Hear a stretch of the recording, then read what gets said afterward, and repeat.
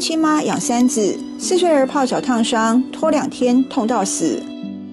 医院通报的部分是孩子到院前就已经死亡了，看孩子的状况是他身体有些烫伤的情形。台中市传出疑似虐童案，一名与丈夫离婚、独自抚养五岁、四岁及一岁半三名小孩的二十八岁李女，其发展迟缓的四岁儿子，十一月十七上午疑似自行放热水洗澡时，上半身多处不慎被热水烫到脱皮。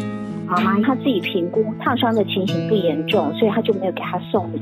李女未将儿子送医，仅仅自行帮儿子擦药。隔天晚上睡觉那个情形一直很不安稳，那个妈妈就有安抚，结果没多久孩子就没有呼吸心跳了。孩子的爸爸有做 CPR 的一个急救。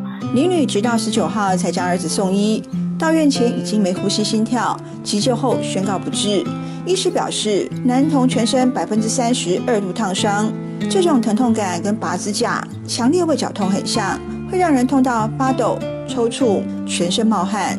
不难想象，男童生前经历了很大的痛苦。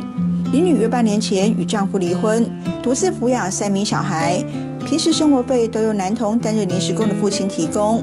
李女表示，因为他们是中低收入户，加上儿子发展迟缓，表达能力不足，不知道他伤势这么严重，才没有及时送医。否认虐待儿子，那我们原则上会配合检察官这个侦办的结果，我们再来判断他是不是有违反儿权法的一个情形。男童身上没有旧伤，死因仍待化验，是否涉及儿虐仍待厘清。而林女的另两名小孩则暂时交由其母亲照顾。同新闻台中报道。